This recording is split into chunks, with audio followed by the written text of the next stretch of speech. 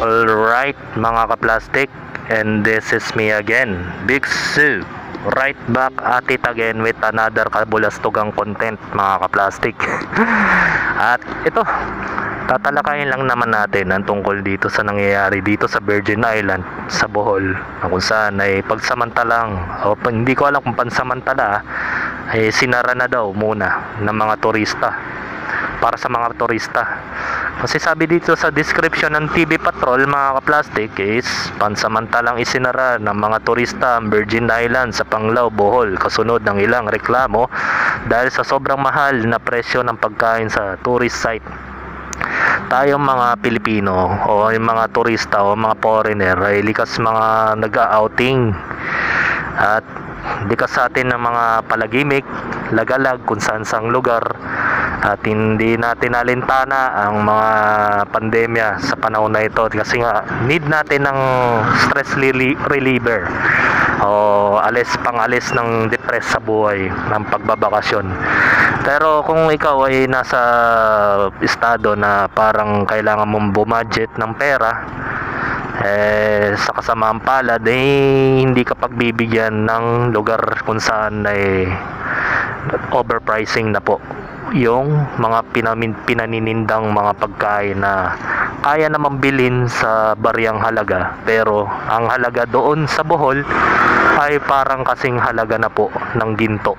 Panoorin natin ang video para malaman natin kung ano ba talaga ang nangyayari dito sa Panglao, Bohol Bakasyon sa Virgin Island sa Panglao, Bohol ang sinadya. Pero nauwi sa gulat ang turistang si Eulalio Colubio at ang mga kasama nang makitang 25,000 pesos ang naging singil sa kanilang kinain. Umabot ng 900 pesos ang saging, Kalain mo yon 25,000 o 26,000 nakalagay dito kasi mali kasi yung report ng ano eh fake news fake news eh 26,100 ang inabot ng kanilang nagastos na pagkain Bro mo yung saging magkano pa lang 900 ang tala dito makakabili ka na niyan higit pa sa isang piling na saging ang mabibili mo sa 900 na yan, pwede ka na magnegosyo ng banana queue eh, mga ka-plastic eh. Pero panoorin natin ang video. 800 ang mga lato. Namahalan din sila sa ibang mga pagkain. Sa Yung lato, mga ka-plastic, yan yung kinakain na ano eh, yan yung damo ng dagat. Ayan yung kapag kinain mo eh, gamot dito sa goiter. Pero putya, pinupulot lang namin sa probinsya yan, mga ka-plastic ha. At kinikilaw yun. Isipin mo yung lato, bebenta mo ng walong ran, 800. Ano yan? Ginto ba yan? O gawa ba yan sa Louis Vuitton? Social media siya nagreklamo pero ayon kay Eulalio, gusto lang niyang ipaalam sa publiko ang presyuhan ng pagkain sa isla at wala naman siyang nais papanagutin sa insidente. Ayaw naman niyang may mawala ng trabaho dahil sa issue pero sana ay makontrol umano ang presyuhan ng pagkain para mas makahikayat din ng mga turista. Tama yun. Kasi nga, isipin mo, pupunta ka ng Bohol, da, baga, bubul, sasambulat sa'yo yung mga pagka mahal-mahal na halaga na pagkain na akala mo galing ka sa luxury condominium o luxury hotel. Dinaig pa niya yung mga ganong bagay mga ka-plastic na kung saan eh, yung mga pagkain dun sa luxury hotel ay doble pa dyan yung halaga na maabot din ng mga libo o higit tapos yan pupunta ka lang sa Bohol para magpalamig o mag-swimming. Tapos babanatan ka ng ganun. Imbis na mawalan ka ng stress sa katawan eh lalong madadagdagan dahil lang sa pagkain na yan Gusto lang namin maaway yung public na ganito po yung price nila. So, hindi maganda na doon kayo kakain dahil medyo may kamahalan. So, ang ano ko eh, magbaon talaga kung pumunta doon. Pwede ba?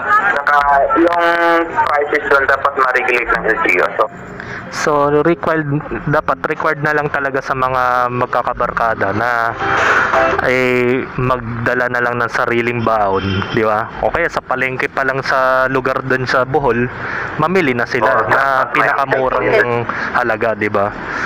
Hindi ang ganyan. Tingnan mo, yung mga isda na yan, hindi naman naabot ng 1,000 yung isang ganyan eh, di ba? Kung tutusin, ang pinaka highest price niyan pag ganyang kalaking isda ay siguro 150, ganun. Okay na yun eh.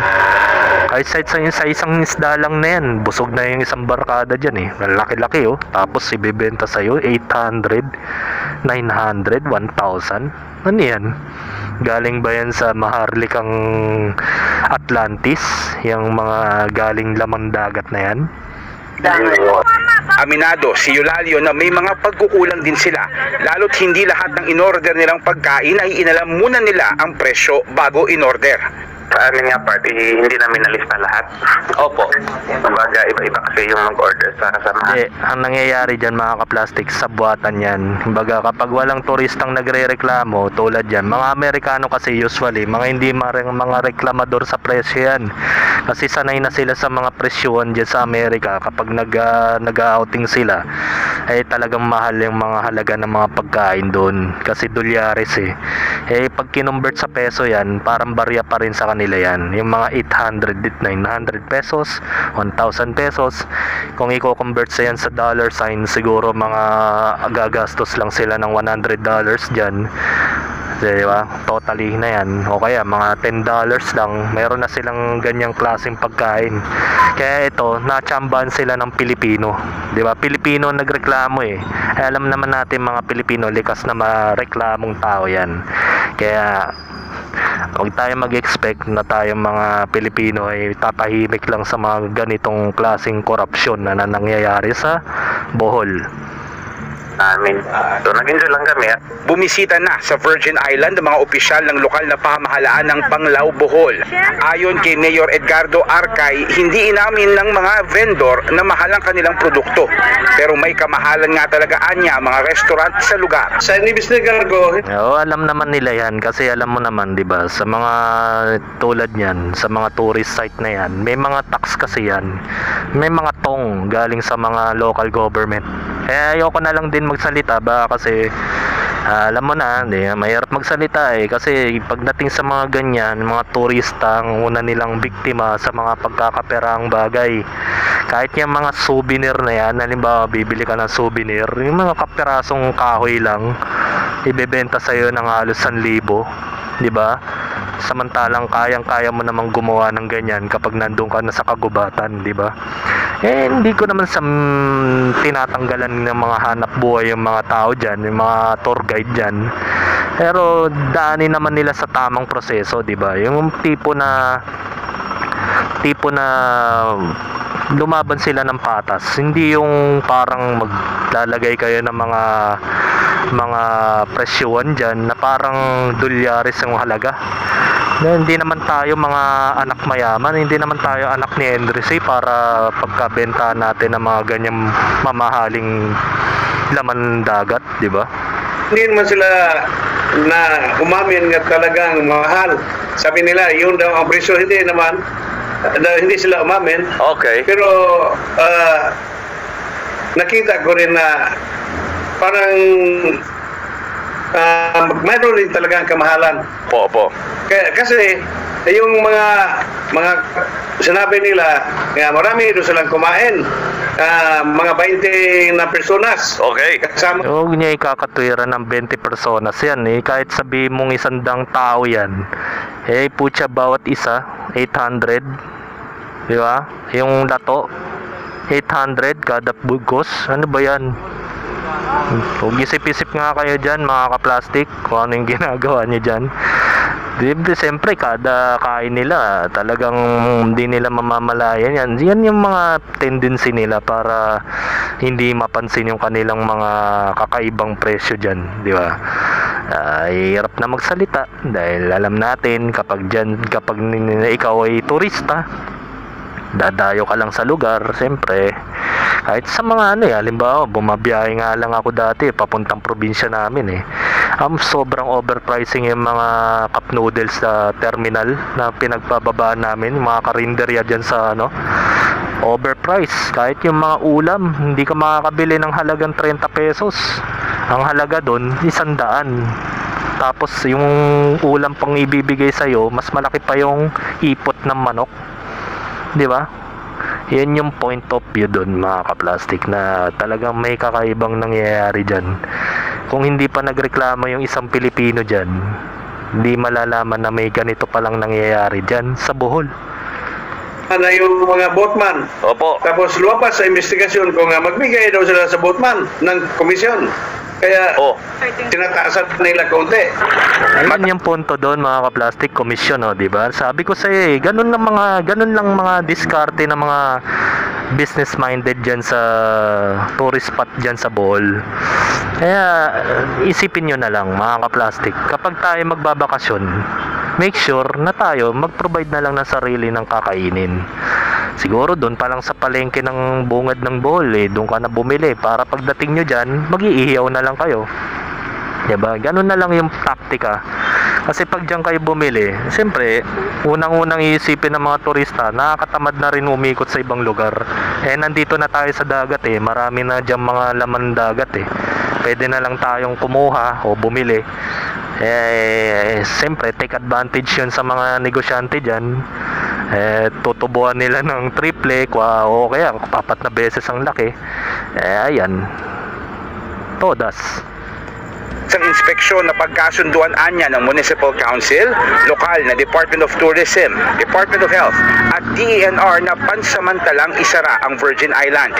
Sa paunang findings ng Bohol Provincial Government, lumabas na walang permit na mag-operate at, at magbenta ang seafood vendor sa Virgin Island. Na Ayun, na booking tuloy kayo diyan mga ka-plastic, mga to, mga balasubas na negosyante diyan sa Bohol na napatunayan ng mga gobyerno diyan na wala pala kayong permit o ano, wala kayong business permit diyan para mag-operate, para magbenta ng mga ganyang bagay. Ayan, na booking kayo ngayon. Ayan ang sinasabi ko. Kolorum na nga. Gumawa pa kayo ng kalokohan dyan di ba? Ayan. Kung hindi kayo nag-overpricing idisin, idisin sana ngayon as usual pa rin ang inyong negosyo kahit wala kayong permit di ba? Kasi kaya mahal yan. May nakikinabang mga kaplastik ganun lang kasimple. Di ba? Isipin na lang natin di ba? Pag magne-negosyo ka mayroon yang connection. Meron yang taong nakakubli dyan.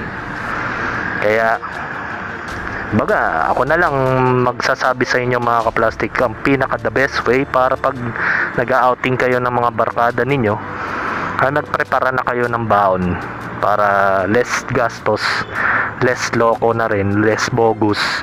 Kung meron kayong bibilin, emergency na lang. Baga, pandagdag na lang. Para at least hindi masakit sa bulsa. Hanggang dito na lang ang aking opinion and this is me again Big So lagi nagsasabing ang mga plastic ay matagal mabulok dahil ang mga plastic ay toxic. Kaya what's up mga kaplastic?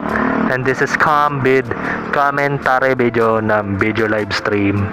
Signing out. Alright mga kaplastic kung nagustuhan nyo ang aking video isubscribe nyo lang ang aking channel.